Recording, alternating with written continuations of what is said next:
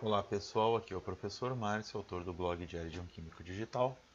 E agora com a aula 8.3 da unidade de Soluções e Misturas de Química Geral. Então nessa aula eu vou falar sobre o conceito de concentração molar.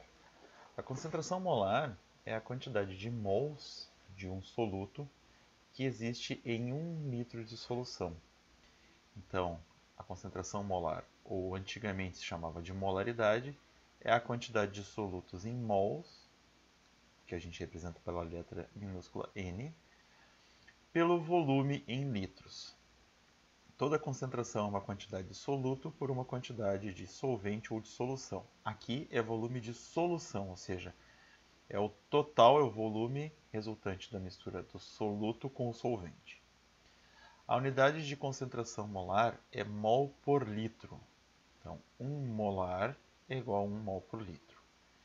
É, hoje em dia se prefere utilizar a concentração mol por litro ao invés de molar.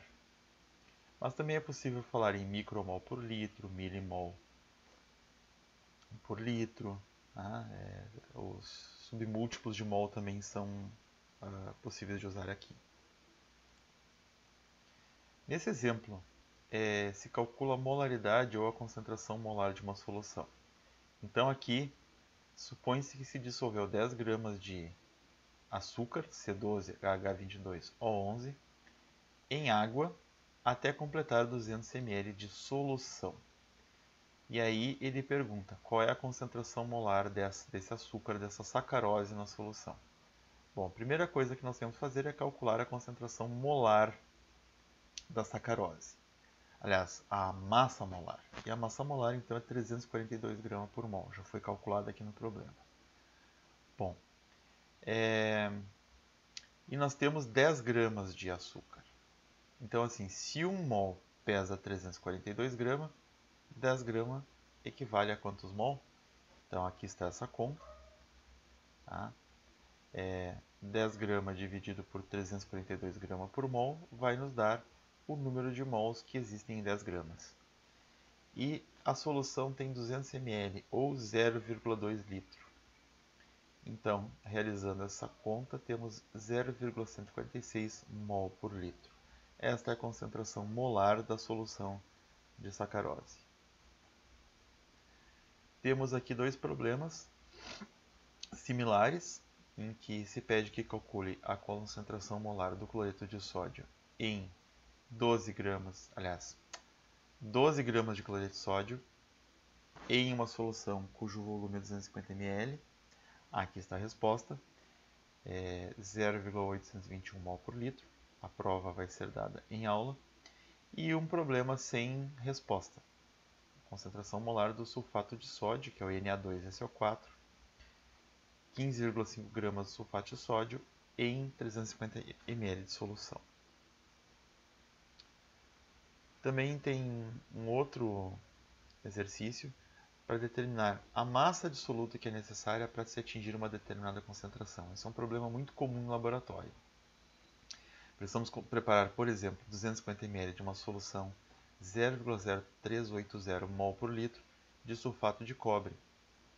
Mas nós só, só dispomos de sulfato de cobre pentaidratado, que é uma substância diferente do sulfato de cobre. Então, esse problema aqui também vamos resolver em aula. Que massa do sólido precisaríamos utilizar?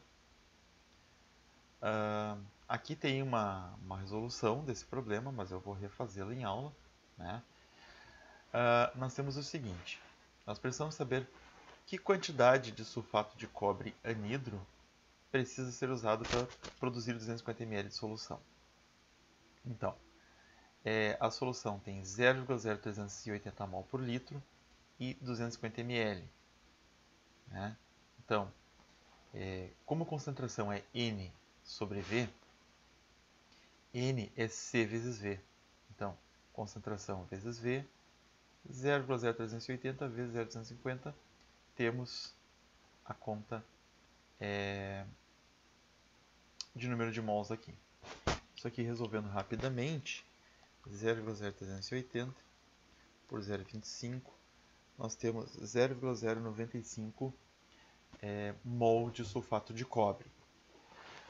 Como um mol do sulfato de cobre pentahidratado contém também um mol de sulfato de cobre, então nós vamos precisar de 0,0095 mol do sulfato de cobre pentahidratado.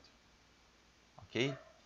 Agora, nós temos uma balança no laboratório que ela pesa em gramas e não em mols. Então eu preciso saber a massa molar do sulfato de cobre pentahidratado, que é 249,6 gramas por mol, e a partir dessa massa molar, nós vamos determinar quantos gramas equivalem a 0,0095 mol de sulfato hidratado. Então, é, como concentração molar, é, como massa molar é em grama por mols ou m por n, então m é o nzinho, número de mols, vezes concentração molar, é, vezes massa molar. Então, é... Nós temos aqui então o número de mols, que é o 0,095 mol, vezes a massa molar 249,6 gramas por mol, ou seja, 2,37 gramas de sulfato de cobre pentahidratado que nós precisamos medir para é, preparar essa solução. Aqui temos então problemas propostos que serão resolvidos em aula. Uma solução de glicose em água e uma solução de ácido oxálico também em água. Nós vamos resolver isso em aula. E aqui um exercício proposto, que é calcular o volume de uma solução que contém uma determinada quantidade de soluto. É um problema bastante clássico também em química analítica. Nós queremos preparar uma solução 0,760 milimol de ácido acético, né? Uh, mas nós dispomos de uma solução 0,0380 mol por litro. Então, que volume dessa solução nós teríamos que usar? Tá, então, para encontrar o volume correto de solução, nós substituímos os dados de número de mols e de concentração. Aqui, ó, é, concentração molar é N sobre V. V passa multiplicando, C passa dividindo, então fica V igual a N sobre C, número de mol sobre concentração molar. Então aqui o volume de solução, aliás, o volume, desculpa, aqui é o número de mols do ácido acético e aqui é a concentração molar. Nos dá 2 vezes 10 a menos 2 litros. Tá? 2 vezes 10 a menos 2 litros é 0,5 0,2 litro. Isso equivale a 20 ml da solução de ácido acético. Então, nós temos que transferir 20 ml da solução para obter 0,760 milimol de ácido acético. Em aula, nós vamos resolver isso com calma. Aqui também dois problemas propostos. Então, a molaridade de um soluto em uma solução é o número de mols de soluto dividido pelo volume da solução em litros. Ah, uma prática muito comum em laboratório é criarmos as soluções estoque, ou seja, soluções muito concentradas, que sempre que nós precisamos preparar uma solução diluída, nós vamos tirar uma fração da solução estoque e diluí-la até o volume desejado para obter a concentração desejada.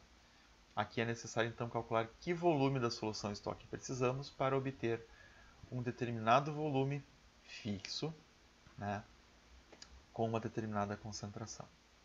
E isso encerra então a, aula 8.4.